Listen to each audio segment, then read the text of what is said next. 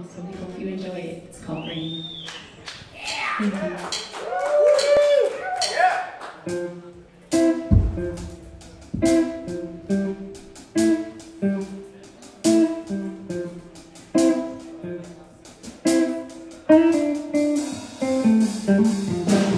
Walking out in the